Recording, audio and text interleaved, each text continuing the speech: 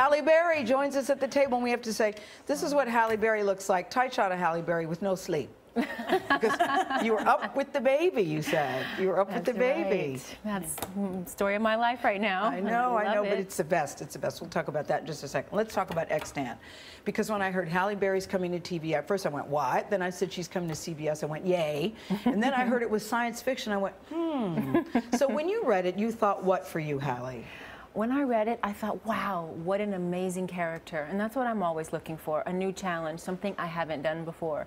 And when I read it, I thought, this is sci fi, which yes. sometimes is hard for me too, but because this sci fi was so rooted in family and grounded, and the characters were complicated and deep, I thought, hmm this could be really wonderful. Well, we all watched it last night, and you left us with such a cliffhanger that I thought, now I want to know what's going to happen. but was there a part of you that went, Halle Berry doesn't do TV?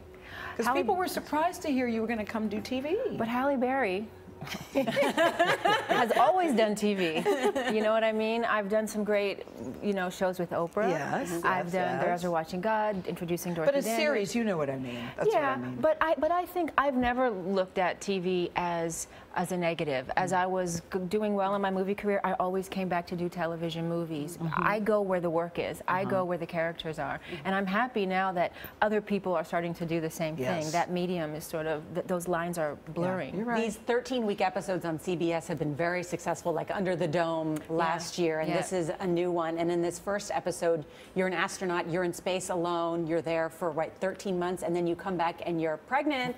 Hello, how does that happen? that that's going to be really interesting to uh, you know as that storyline unfolds what actually happened in space. Is it an alien baby?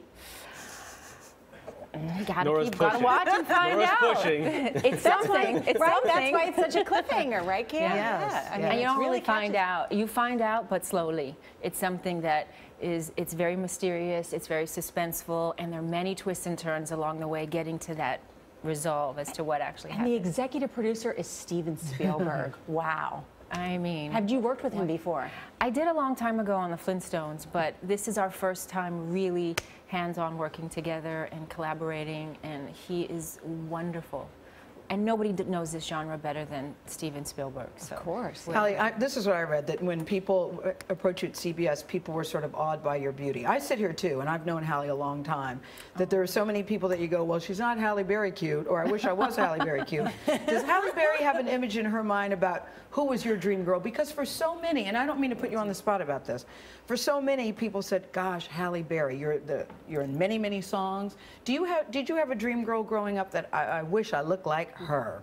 Dorothy Dandridge. Did you? Mm -hmm. Did you? Mm -hmm. Very nice. And then you end up playing her. And then I ended up like that was a real highlight, you know, for my of my career to play her. But she was my early role model. Sure, I remember seeing her on television and seeing a woman like me, my color, on mm -hmm. television, and I just was, you know, I was hard pressed to find those images when I was eight, nine, ten years old, and she was very impactful. Yeah. Do you ever have a bad hair day, or I just look like crap today?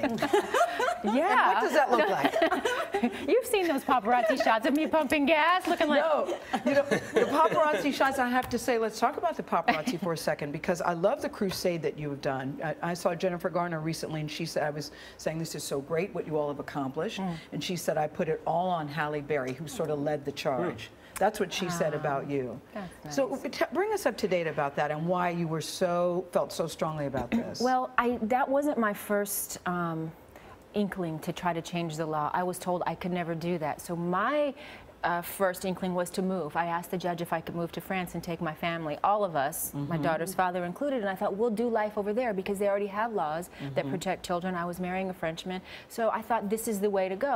Well, the judge said no, and I thought, okay, I've been told no. What do I do? Do I sit and cry about it, or do I go do what people have told me I can't do, change the law? Mm -hmm. So I mm-hmm. did it because I had no choice. And when you have no choice, you attack something, I think, in a different way. I couldn't take no for an answer because living life in LA the way we were were living with that crush of paparazzi for my kids just wasn't going to work. I remember a very vivid scene at your at your school at your daughter's school where you're in the face of a paparazzi, yeah. in his face, telling him to get Uh, you know, to leave us alone. Mm-hmm. I thought it was such a mama bear move, but so mm-hmm. powerful, Halle, at the time. And, and embarrassing at the same time because nobody ever wants to go to that place where you are screaming and hollering and cursing outside in your daughter's school. But I had reached my personal limit that day mm-hmm. of having my daughter be afraid to go to school. I, I, I mm. bottomed out, if you would say, and I, and I went off. And mm-hmm. that's when I knew I had to move. That's when I tried to move. And when mm. things didn't work, finally, I decided I'm going to put all my energy into changing the law. And luckily, How's Sen- your life Senator changed? De Leon. And, and how different it? is it now? Yeah.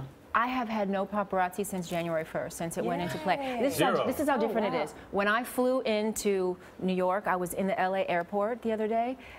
Paparazzi ran up. My security guy said, She has her baby with her. They said, Oh, okay, we're sorry. And they mm. walked away. Wow. Like they walked oh, away great. because I had my child. And that, And you were stunned. I, I was in shock. I thought, Oh my God, this is mm. working. Yes. This is, I've, we feel so civilized. Especially when they told you, you it can't be done, Halle.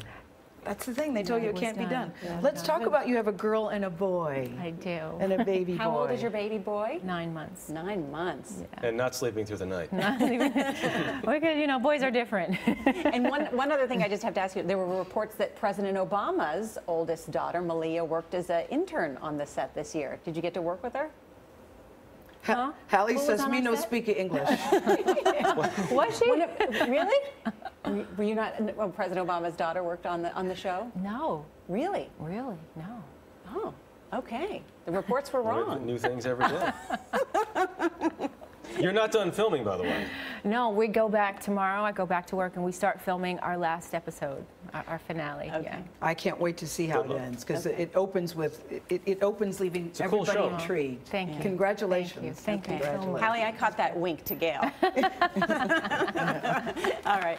You can see the premiere of Extant tomorrow night. We've already watched it. It's awesome. It's at 9, 8 Central, right here on CBS. We got Halle Berry on CBS. We're very happy about that.